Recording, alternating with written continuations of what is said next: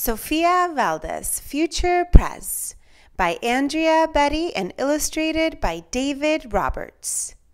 And this book is dedicated to my student Minnie. Sofia was a baby who got things done, helping her family before she turned one. Raking the leaves, taking pets for a walk, or just dropping by for a treat and a talk. Sofia Valdez did as much as she could for her family and friends and her whole neighborhood. A dreamer, a doer, a real life go getter. Most people like good, but Sofia liked better. Each morning, Abuelo walked Sophie to class.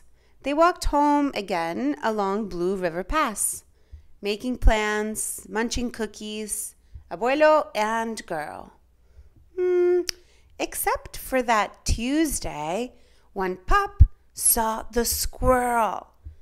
With a howl, Pup took off, racing all through the town, over, under, beneath, and around. Sophie scrambled to try to keep up with the hollering man and the bellowing pup. Up the squirrel ran to the top of a hill made of leftover junk for the local landfill. They reached the tip top of that mountain of trash, which jiggled and broke with an ear splitting crash. Down they all tumbled and hit with a thud on a moldy old pumpkin surrounded by mud. Ouch! cried Abuelo. He struggled to stand. A dangerous mess, he said, grasping her hand. The next day, Sofia walked to school solo, but it wasn't the same without her abuelo.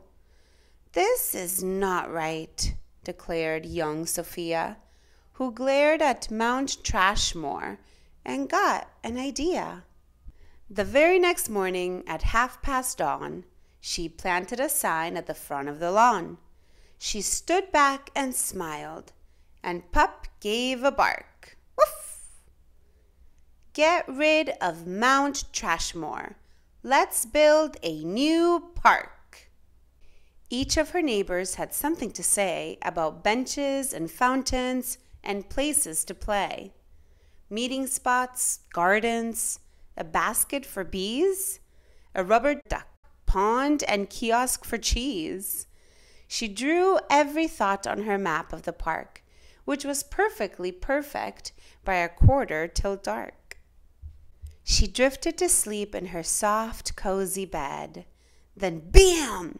She woke up when a thought smacked her head. Her heart skipped a beat as she realized each one of her neighbors had said, Let me know when it's done. They all thought Sofia could build it alone. But how could one girl do so much on her own? The weight of that thought made her tender heart ache as night thunder growled and she lay wide awake. Then dawn brought a storm and the gloomy sky wept and the heart-sick Sofia finally slept. Abuelo baked cookies when Sophie got up. He gave her a bagful and sneaked one to Pup.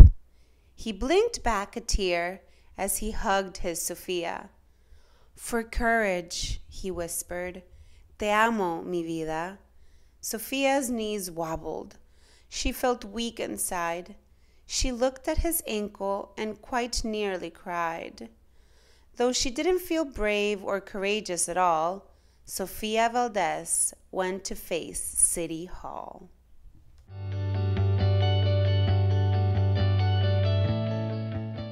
The mayor's office sent her to room 401, the Blue River Creek Department of Fun, which sent her downstairs to room 302, the Office of Duck Ponds and Cool Things to Do to the Office of Monkeys, the Department of Cheese, the Division of Fountains and Meetings and Bees, then down to the basement, so musty and cramped, where all the town's papers were sorted and stamped.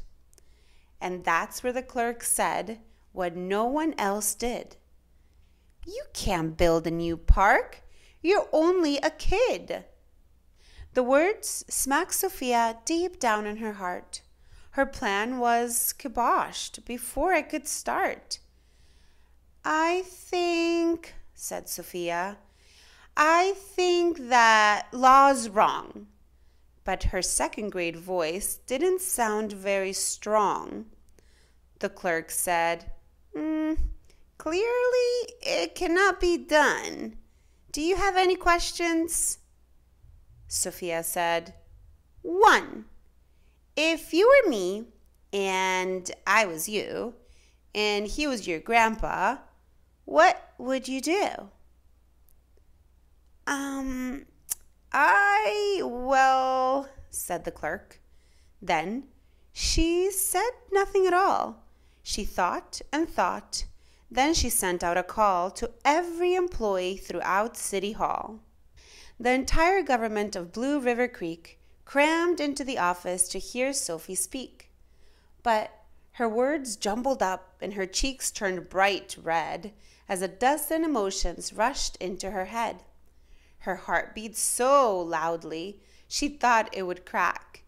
The crowd leaned in closer. Sofia leaned back. Then her arm brushed the edge of the old cookie sack.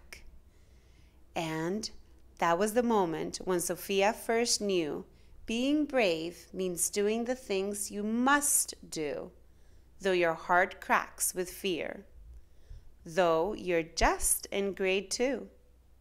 She took a deep breath, looked the mayor in the eye, and though her knees wobbled, she held her head high. Sofia started talking. She spelled out her plan and why it all mattered and how it began. And once she got rolling, she had lots to say about meeting spots, monkeys, and places to play, and other ideas for things they could do to help the town elders and other folks too. She had thoughts on the library, thoughts on the zoo, and perhaps a way to combine the two. And. All right, cried the mayor. Go start a petition. If the town wants a new park, we'll form a commission. And so, young Sofia got right to work with some help from her family and pup and the clerk. The others joined in. Not all, but a few, like Miss Lila Greer and the kids in grade two. There were hearings and surveys and taxes to figure, then bulldozers, cranes, and a blue bigger digger. They all built that park. That's how it got done, with the hard work of, by, and for everyone. But it began with a dream of one person, just one, who laced up her shoes and then led the way to help Blue River Creek get a new place to play. Now, every evening till long after dark, the town comes together at Citizens Park. They all hold their truth to be self evident that Sofia Valdez could grow up to be president. Until then, Sofia, that real life go getter, helps Blue River Creek get better and better. Don't forget to subscribe for more story time with Miss Veronica.